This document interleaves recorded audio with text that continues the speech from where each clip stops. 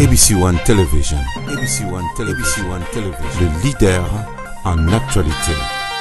ABC One. c'est jésus-christ qui est le number one nazali na esengo ya koyeba ete bozali ebele liboso ya baposte téléviseur na bino mpo na kolanda émission tolobela mboka congo na yango bandeko balandi ya émission tolobela mboka congo napesi bino mbote esika nyonso ezwami bino mpe tika ete kimia ya nzambe tata eyingela o mabota ma bino Bandeko balandi ngai molobelo ya bino Océan de la presse congolaise na laka la bino ete eloko nyoso ekoleka na République démocratique du Congo na kozanga te koyebisa bino. Bandeko balandi tango na lobaka la bino émission oyo ezali ya réflexion bala mboka Bisika nionso bozali nazali kobelela bino nalobi ete bo s'abonner massivement na ABC One. Merci na bino ba oyo bozali ko s'abonner pamba te nazali komona ete tango bobengi bo s'abonner pe namoni yango bato batombwami. Kasi tolingi tosuka wana te. Tolingi tosuka wana te bandeko balandi bozala ebele po ete na ABC One nde bozali kozwa Congo ndenge nini ezali kotambola. Bandeko ezali pasi pe mawa na ekolo Congo. Na mboka Congo tokomona maye oyo nanu tomona te. Tozali kolela butu moi, tozali kosenga pe na bino ba congolais botelema. Tango tozoloba boye soki bino boza kotelema te eza kosala pasi. Sikoyo bozali kobenga biso po na nini? Ba mbela na bino ezali po na nini? Ba ndeko na ngai, tata mokonzi wa ekolo ezali kopesa mawa kasi tozali na eloko ya koloba te. Na ngonga moko Kabuya l'homme puissant lokola azalaka na regie akotiela bino ba micro baladeur ya ba peuple oyo ndambo basindimaki koloba mpo ebele mpe babangaka na bango kasi bandeko balandi ezali pasi tata mokonzi ya ekolo azali koluka sozi nano azwi te nayebisaka bino kala na bemission yango nalobi bolandaka bemission bolandaka botalaka mpo boyeba toza kokende wapi mpo makambo oyo mingi laza korepete laloba yango kala Nayebisaki bino ete tata mokonzi ya ekolo azali kobongisa ba groupuscule na ye, bino bato ya mayele boyebi ndenge bolobaka wana, mpo ete aluka bato. Bomoni ba musiciens bwe baza ba depute, bomoni bato ya maboke bwe baza ba depute, bomoni na bino bato oyo balobaka lokola banani ba, ba Sankara, ba Mosaka, banani tout wana bakoti ba depute. Bomoni mpe bapanzi sango misusu bakomi mpe ko postuler atako bino moko natuna nano bino bato ya mayele pardon eh, bosalaka bacommentaire pardon bolobelaka biso botika nano nde intimidation ngai mpe naboyi nanga intimidation mboka eza kokufa bino bointimidaka bato na nini nalingi mpe moto intimider nga te s'il vous plaît soki omoni oza na eloko ya kokomela ngai te to olakisa ngai tambola boye tambola boye oyeli mpo intimider nga kolobala ngai te kobangisa ngai te mpo na korepondre mabe mpo ntango congolais azali konyokwa boye bamor mikolo nyonso bato bazali kobunga bato baza kokufa na nzala nazomona bisiko bino bozobikisa bango te misolo na bino ezali ya bino moko na bamakango ya mike mike oyo bozali kokele koluka kobomaka bana ya bato nakoloba yango ta mosusu na nzongo ya libala mpo mama wana noko ya mwana wana abengaki ngai bandeko na ngai tata mokonzi ekolo azali kobongisa mpo ete balobaki nini soki badepute ya bango bazali bayike nde ntango babala kovote baloi ya bango esala nini eyokama botalaka bino moko mayele mabe botala système de jeu nini ezoleka ya république démocratique du congo sikoyo mwana mboka olive lenge alobi ye akosala congrès toyoki mwana mboka nde akopesa mongoloto ya candidature ah congolais mpo na nini boza mitema mabe nani yango sikoyo boza kosemonkela nani ata bino moko todesabille saint paul mpo toabille saint pierre esalama na mboka nini botika bamanigance oyo bana mboka congo botala mibeko ebali kobima na majorité oyo ya bango moko toyebi te soki ezali na mobeko likonzi ya mboka mpo ete constitution yango na lolenge balakisaka yango na bato ezalaka mpenza te ebunga me tokoluka yango mpo totanga article moko na moko atako baza kobongola yango baleki na betando eke koloba ete mwana mboka mosengo akopostile te mpo abala te na article nini elobi président azala marie to azala bana bato ya mayele na article nini tata mokonzi ya ekolo ye ayaki kobala si azali déjà après deux ans ya kovanda na kiti na bokonzi na 2006 ntango akozalaki mokonzi ya mboka abalaki asali mariage na ye azali na ebonga ya république démocratique tomoni ba jeux basalaki biso Eric Lenge soki Eric soki nini tomoni ba jeux oyo congolais nyonso ayebi Eric lelo azali na na na na na, na kati ya garde rapprochée to bisiko oyo tata mokonzi ekolo atambolaka Eric wana oyo abetisa biso masasi kokimisa biso tokomi lokola bazoba letando eke Eric yeyo azali kokima azali kokende na komi na pasa Eric yeyo akomi na kingasa na suka akoti kingakate akei na njili brasserie bandeko na ngai bana congo makambo oyo nazoloba tu congolais ayebi yango lelo naye kaka koyebisa bino toyebi te congrès yango akosala yango mokolo nini mama olive ye mpe azwi ya ye kiti ya bokonzi alobi ngai mpe oyo oh, ata kutu bamama sese balekaka ata mpe babobila da yango ata mpe basi ya bakonzi misusu toyoka makambo oyo nanu tomona te bacongolais Nzala ezongisi biso sima. Kobanga ekoti biso na makila mpo ete Belge, kolon ya biso, akoloniza biso uta kala. Kasi nazali koyebisa bino, peuple baliberaka ye te, peuple ye moko amiliberaka. ye moko asombaka bonsomi ya ye lumumba amonaki ete tokangami na boumbu ya banoko alobi te kasavubu aza mwa miso maimai Kasi tika ete na botola yenda oyo ngai na telema liboso na loba congolais congolais ya solo tomonaki marche ya bino ba diaspora bozali kokelemela moni ba diaspora bolali boningisa ko boningisa mpo ete soki bino bolali bolalisi bandeko na bino mpo a nde tozoloba boye sikoyo théâtre ekomi bemba Kabila Bemba Kabila ba Felix bavandi toyebi te est-ce que bato bakopostula eza kaka Bemba na Kabila tomoni sikoyo opposition evandi nayebisaki bino ke opposition place oyo ekotaki boyokani eza te opposition evandi où est les opposants de la république démocratique du congo baopposant boza wapi botelemaka na bareunion na bino tozoloba ondo du peuple tozoloba ondo du peuple tozoloba ondo du peuple peuple yango oyo wapi peuple yango azali l'imposture peuple moko imaginaire peuple moko amonanaka te to peuple yango bolobaka aza na bomoi lelo oyo juillet esili tokomi na août mpo ete esengeli lokola bobandaki le 23 bapesaki bino un mois donc le 23 juillet dépôt ya ba candidature ya ba députés nationaux na ba présidentielle feu sila mais botala ndenge tobandi kokota na ba scénario toko risque na uta eloko moko esalama te yango tozali kobela bana mboka congo bisika nyonso bozali tozali kozela mama olive soki akoloba nini lokola ngai nalobaki soki nayoki namoni fola prévenir bino tozozela ye soki akoloba leyola butu soki mpe kozala lobi toyoka nanu mama olive alingi koyebisa biso nini ah nzambe ah nzambe peuple congolais botelemi na banzela ebele ba declara debout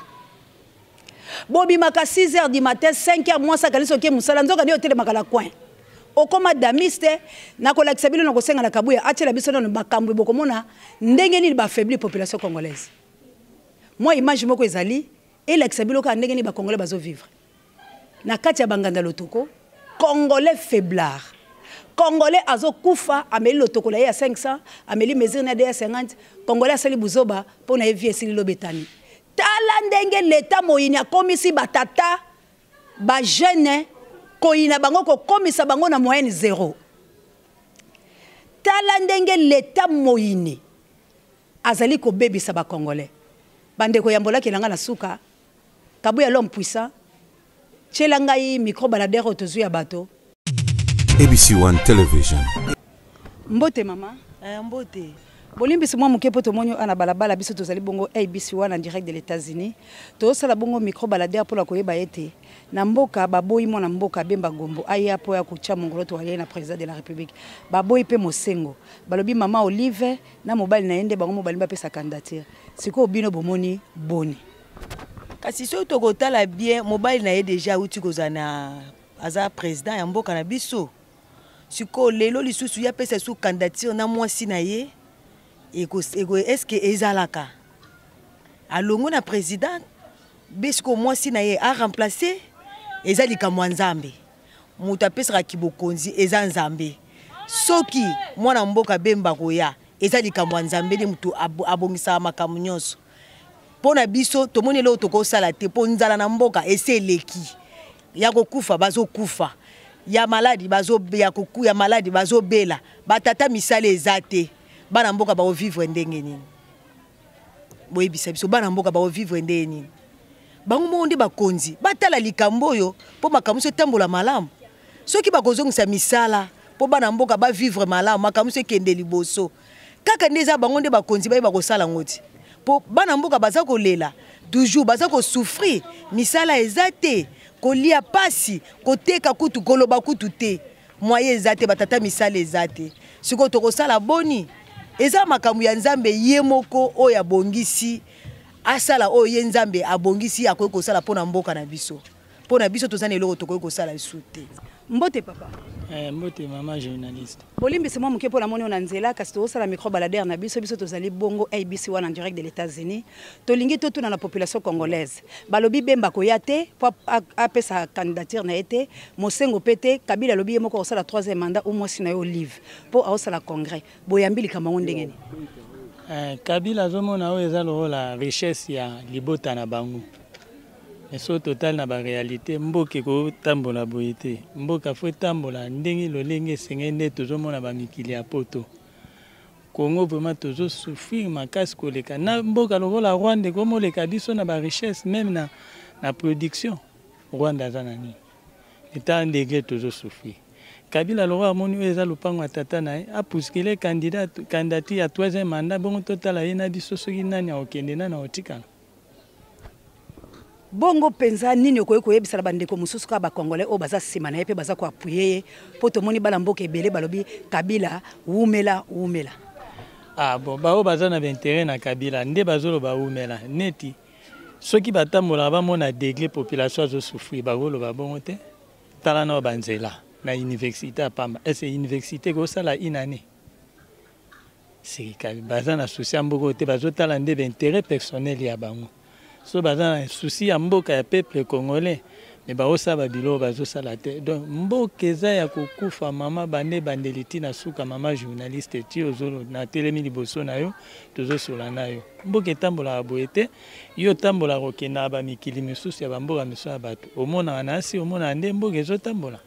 Mais awa vraiment yango te soki akoboma biso asilisi biso nyonso tokufaka polo oyo eza république ya lopango na ye na libota na ye asilisa biso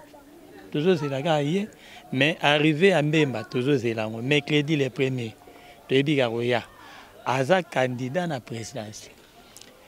mais monsieur nani oyo ya biso monseigneur ye kutu eza ya koloba te mpo bayebi ke defeti na bango eza na bato wana mibale yango bazotya bakali bongo mama olive ye vraiment soki mama olive aza na kandidati eza lokola mobali na aza na place donc mpo na mama olive vraiment esivi eza mekani otya libaya te mpo tokobuka yango abc one television nazokoka kolela te mpo soki naleli bato mosusu baza koimpite nga baresponsabilité oyo naza moto soki ngai naza moto eloko te parce que l'opposition ezalaka te na mboka na biso L'opposition ezalaka te na okotela bango na mosani. Nazali koloba pamba te mboka na ngai ezali kokufa. Congolais ni aza lesengo atako bino boza na mikili ya bapaya. Ozosala de 24 heures sur 24 ozalaka na repos te. Congolais akoma kosala 3 places mpo kaka aluka moyen de vivre. osali banda tongo ti 12 heures osalaki koto oyo oke koto ya 14 heures ti soki 18 heures oke koto ya 20 heures ti nini oke koto oke kolala ya na nga boza konyoka boza bato ya bastress na poto mais soki tobundi te mpo mboka na biso etombwama yaya vous vous croyez ke bandeko oyo bacongolaise na biso makambo aosala na poto ezokomela mpe biso te tout ça bozosala yango mpo na nini mpo eza mboka bapaya mpo eza mboka bapaya bandeko na nga bozomona bamor te baincendie eza kosalama incendie esalamaki na afrique du sud ndeko labisa akufaki na gaz yango mpe eutaki kosalama na luanda bato baotindela nga bafoto bato baotindela nga biloko ma ezali mawa bandeko na nga pourkui congolais bisika loso azali aza na valeur te parce que bamoni congolais yo moko oza lache bolimbisa nga bandeko na nga Congolais oza kolinga te ke oloba na boyi likambo oyo pe na telema. Yo olingi balakisa lolenge nini? Olingi mutu penza aya ti na ndaku na telemisa yo neti nga bolaloba kabuya ye kabuya ye telema ye telema tia petrole na milangi betaka pom pom pom pom sujet nionso bozo sala bozo comprendre yango te ke tangu boza kosala eloko moko boye ezo komela pe bakonzi boza ko intimide bango pe baza kobanga. ata ko batioli soda soda aza congolais soda aza kofutama bien bolandaki témoignage ya mwana mwasi ayaki awa soda babakisele 20 000 francs mokolo asepeli babotole 20 000 est ce que bakonzi ya bongo esalama wapi bozali konyokwa bapolisi basoda boza na misolo te Boza na eloko te, bazali kopesa bino biloko oyo ekokani na bino te, tenue ya malonga ezalaka te, boza na eloko moko ya malonga te. Kasi soki batie yo libanda te, wana otelemi krokrokrokro ko intimider population congolaise. Population botelema. Ya solo boza na nzala kasi botelema. Bandeko na ngai makambo oyo ezoleka na mboka Congo naza koyebisa bino pamba te ezali bombe à retardement. Mais toyebi te ekopetele place nini. toyebi te parce que trop c'est trop ata bino moko esalama na mboka nini bazo préparer mama olive azala dauphin est ce que bino mpe bokovote ye toloba mpe alo vérité tobomba te est ce que esalama na mboka ni parce que bovote mama olive bovote troisième mandat tala bageste nyonso ezoleka ya mike mike mpe mwana mboka corneille nanga baza kotambola mpe bakonzi mosusu ya mboka baza na nsima balobi iyo Naza na mokanda moko mpo ete na regie mpe ntango mosusu mpe na bato ndenge baboyaka me natangi yango mwana mboka moko azali mokonzi ya pprd nkombo na ye ekimi ngai dunia kilanga atelemi alobi joseph kabila akopesa troisième mandat na ye ye moko akokende kotika yango parce que eza bongo ah les y comprendre papa na ngai dunia ezali mpasi makambo oyo bozosala Ezali pasi boza koyiba mbongo ya Congo ekopesa bino eloko te eza le bien malaki ekoprofite na bino na eloko te bandako na bino ekozika mwana mboko atongaki immeuble na ye tokendaki na kabuya na salongo place oyo bakendaki kokanga biso balobi tofilme yango te mpo ngai nafingaka bakonzi ya mboka ngai nafingaka bakonzi ya mboka te natangi mpe droit nayebi outrage au chef de l'état ya 20 ans de prison nga nafingaka bango te nalobaka nde eza solo yo osali na bokonzi kaka 3 mois otongi building ya 4 niveau mpe edindi bomoni nzambe ndeni aza makasi mbongo na congo ezali me bino bozolia yango bino moko me lelo nayeka mpo nayebisa bino ete bofungola miso botala makambo ezosalama bomoni ndenge bato bayike basalisali barbara kanambe bakomi badepute toboyi te baza na bango mayele kasi yaya bisika oyo ya lituka bato bazwaka mbano ya ekolo mpo etombwama eske depute aza moto nyama seke sikoyo ata kutu kaka tolokotela biso soso akomi ne depute mpo tocomprendre ke na mboka na biso bato ya mayele bazalaka na place te mpo tomoni na mboka bapaya ntango okomi depute cela veut dire bazotala motu na yo ntango bazovandisa lebonga ya depute bayebi kuna nde bavotaka baloi kuna nde makambo minene efandaka kuna basolution ya mboka ezalaka kasi na basenatere ya mboka congo na badepute ya mboka congo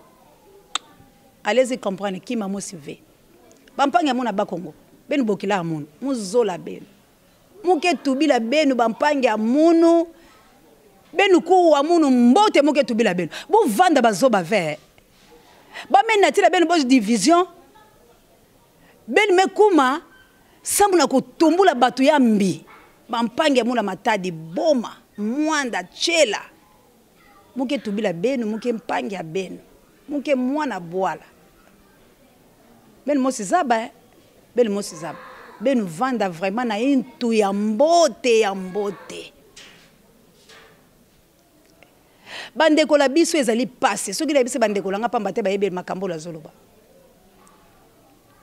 tout congolais tozala bomoko boza na états-unis na asie na 5 continent bisika nyonso congolais azali koyina na moninga na ngongo te bolongola bafitilité na bino wana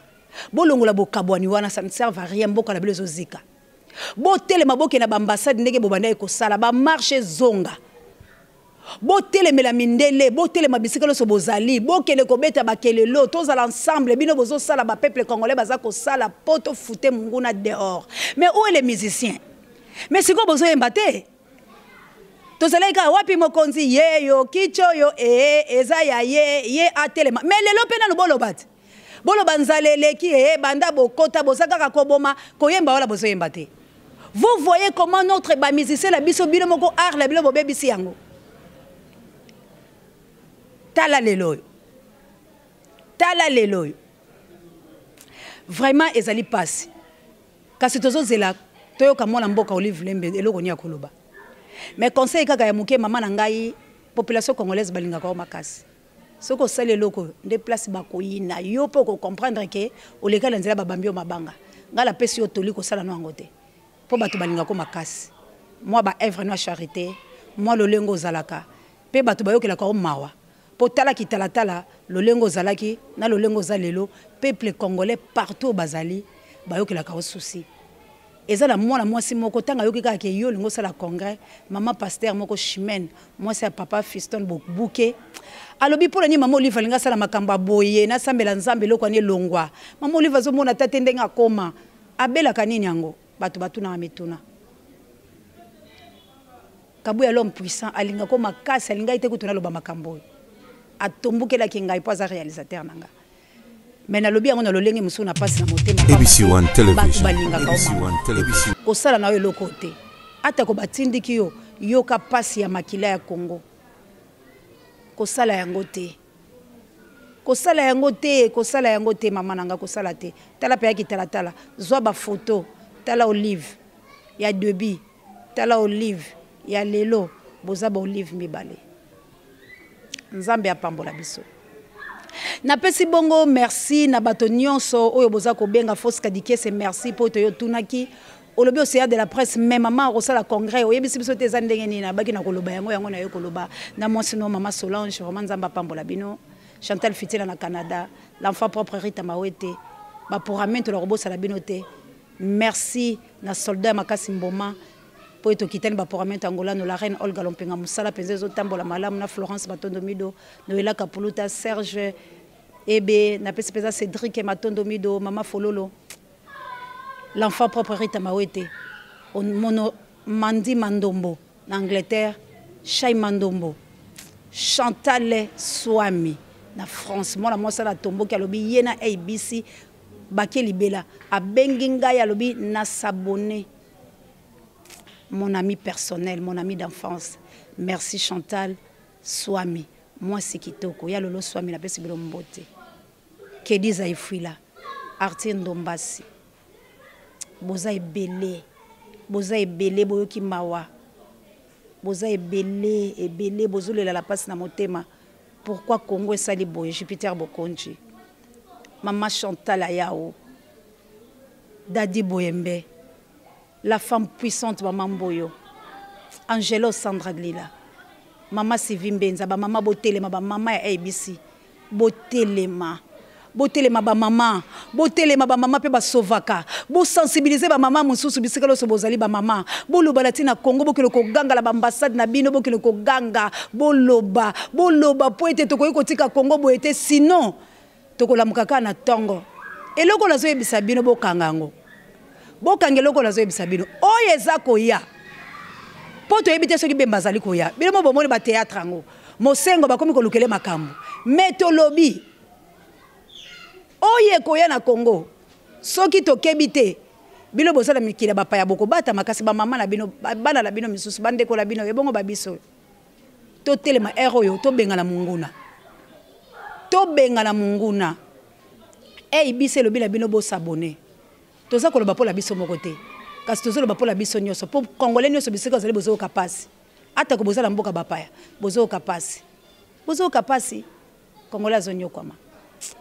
Merci na bino penza. Jean-Jacques Soki mobali ya mbinga mobali oyo na ndako ne bapesi nyonso etonda amour. Bon rétablissement na bebe na biso. Crois au Seigneur Jésus. Tu seras sauvé toi et ta famille. Nzambe akobikisa yo. Po biso tozobondela. Naza penza na pasi na motema po ete na Congo c'est du théâtre. Mwana mboka colonel nanga. Nazaka kobelela yo mwana mboka Corneille Nanga aliaka misolo misolo wana okosanza yango. Yudas atekaki Yesu na 3 deniers. Kasi mokolo wana asanzaka yo pe mwana mboka Corneille Nanga ekotourne na sima na yo. Po tango tata mokonzi ekola ko comprendre ete ba manigances nionso bozo kosa ye akopesa bino misolo azo bimisoli afuta batu ekeyi ya bule asali makambo akanaki te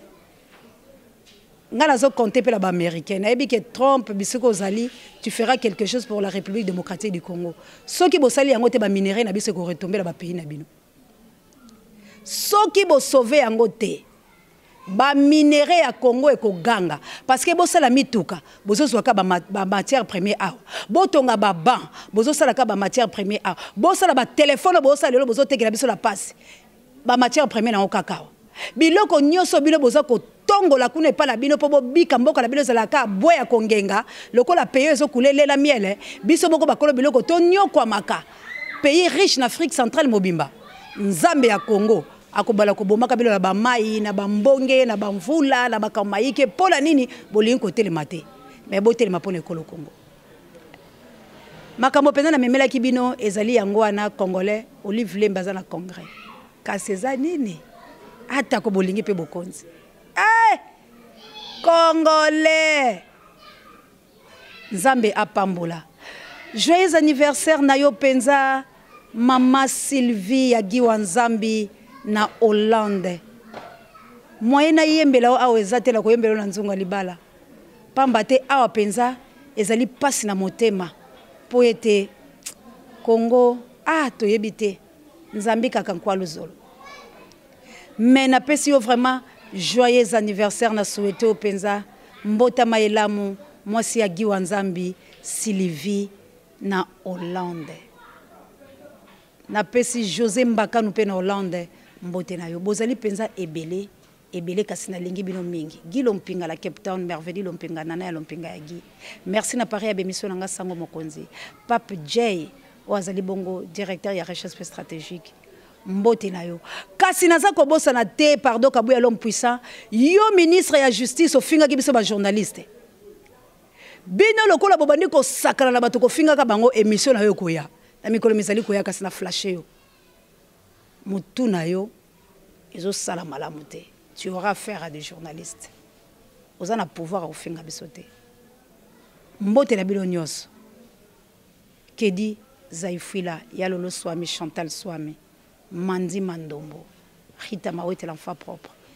Bisika nioso bozali bokila lokondo efam pekato bolinga bolinga te azali la femme puissante c'est mama mboyo merci na première dame ya abc one mama chantal ayao la présidente mwasi ya yambo grâce na yo océan de la presse bambela bisika nyonso tika nzambe apambola o na bamapasa na nga rebeka na bianca papa ose je vous aime mon père merci beaucoup Grace ya telephone na yo na Olga Lompinga la femme capable la reine nde na kutani na Chantal Swami ma copine d'avance que Dieu benisse le Congo Congo au Congolais bye. ABC One Television, ABC One Television, ABC One Television, le leader en actualité.